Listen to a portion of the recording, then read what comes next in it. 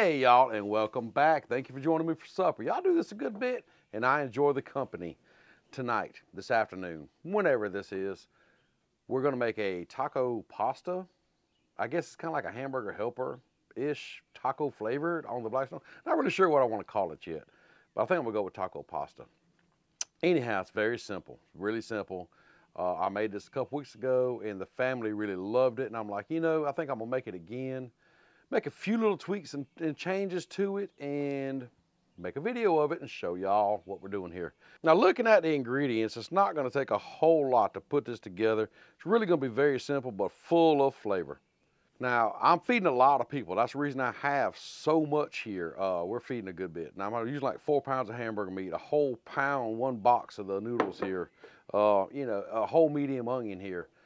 It's a lot. It's a lot, but you do you. If you don't need that much, reduce it down, make, make smaller amounts. Or you can make this and prepare your lunch for the week, however you want to do it. That's the great thing about making meals like this. It, it will save in the refrigerator, put it in Tupperware bowls, whatever you need to do. And you got meals later on in the week. So I went ahead and fired up the Blackstone, got everything going on low, getting it ready to cook all this up. What I'm showing you is how we enjoy this 100%. I say this in a lot of other videos. Recipes are guidelines. They are not rules. I will stand that until my, I'll, I'll die on that hill. I really will. If you want to add jalapenos, chopped jalapenos to this, if you want to take away the onions, if you don't want the bell peppers in here, you can change it up. You do you. You know what you and your family like, and you 100% can change it up to make it the way you like it. This is just an idea, a baseline to go by, and that's all my recipes ever are. So, you know, with that, I want to know what you would change up. How would you make it yours? What would you add? What would you take away? What would you do different? Let me know down in the comments. But for right now, we need to go check on that grill and see if it's time to start cooking. Well, there's that white smoke. That means this grill is ready for some groceries. Let's throw down this meat first.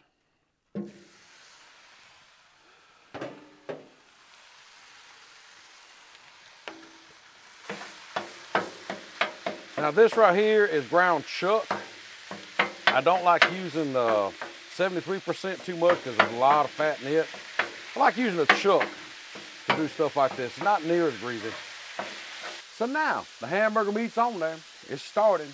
Now we gotta get it seasoned because nobody wants no plain hamburger meat. So grab up that street taco seasoning and let's add some flavor. And don't be scared of it. Don't be scared of adding too much seasoning. I don't think you can do that. Oh, wow. This is smelling so good now. Man, it smells like taco night around here now. Let's get that mixed in here.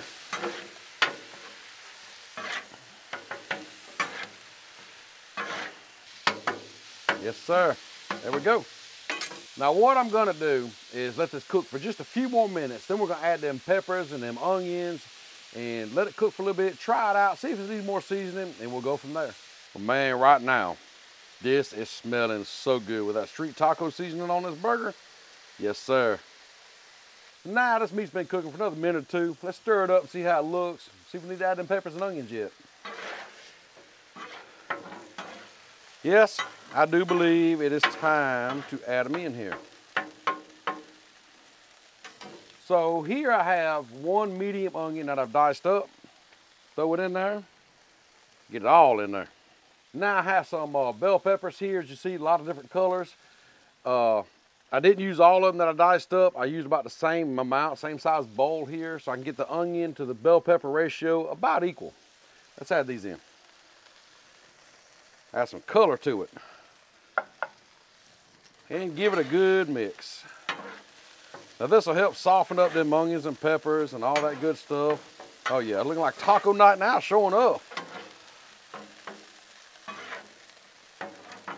Hamburger's about done. Yeah, it's looking good. Spread it out.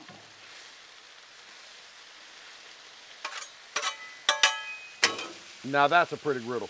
Now, this is beginning to look and smell like taco night for sure.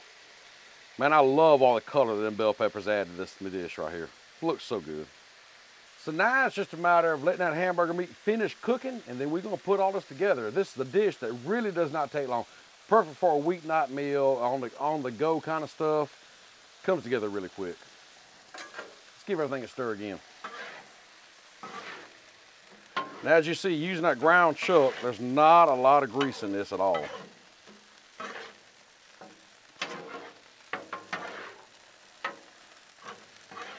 Now this hamburger meat is done. The peppers and onions are starting to soften up, so let's go ahead and get the grease out of it now. So basically what I do to get the grease out is just hold it up like that. And as you can see, you have a little bit of grease. Can y'all see that grease coming out? To me, that's the best way to get the grease out of this dish. You just sit over here to the side. do the same thing over and over. Get all that grease out of it. Now I gotta say, that's not much grease at all right there for that much hamburger meat. But now let's get rid of that grease. Down the back you go.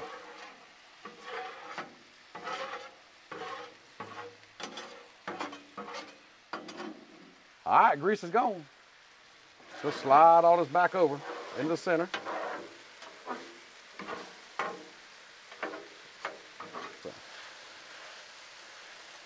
Spread it back out.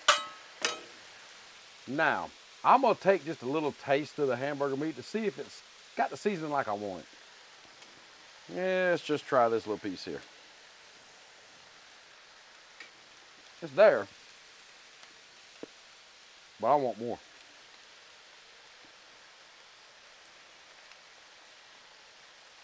So I'm gonna add more.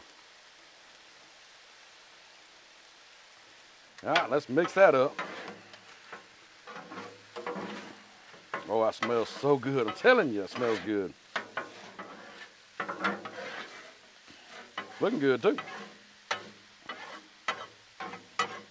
So now,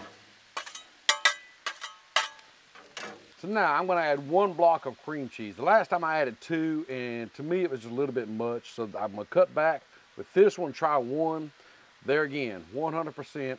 You want the kind of the creaminess of the cream cheese in there, add it. If you don't, leave it out. And just mix it in. It takes a little bit to kind of work that cream cheese into it, but that's okay. And at this point, to mix that cream cheese in, you just kind of keep on stirring it around. Chop it up a little bit. It'll give a nice little creamy texture in there. Spread that back out, just kind of let that cream cheese melt all in there. Now just look at how all this is coming together. Man, that creaminess, that cream cheese, them bell peppers, that hamburger meat smelling like a good old taco right now. We ain't done yet though. Now I got some Colby Jack cheese here I'm gonna use. Uh, if you want to use a pepper jack, a habanero jack, whatever kind you want to use, cheddar, whatever. You do you. But right now I'm going to use this Colby jack. Dump it in there. And as you see, I don't have a whole lot. You can make it as cheesy as you want, whatever.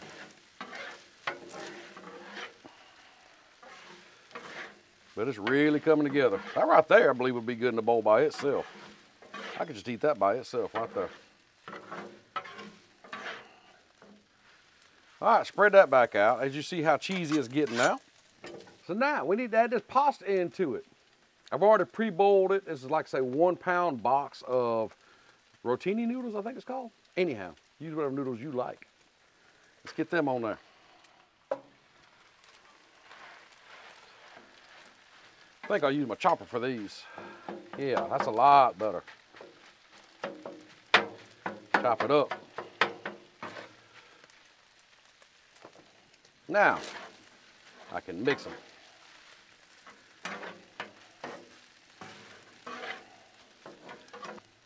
Spread that out again. Now we got everything added in, but we got to add some sauce. So I got some Taco Bell mild sauce. Uh, use whatever kind of sauce you want, but I love this Taco Bell mild.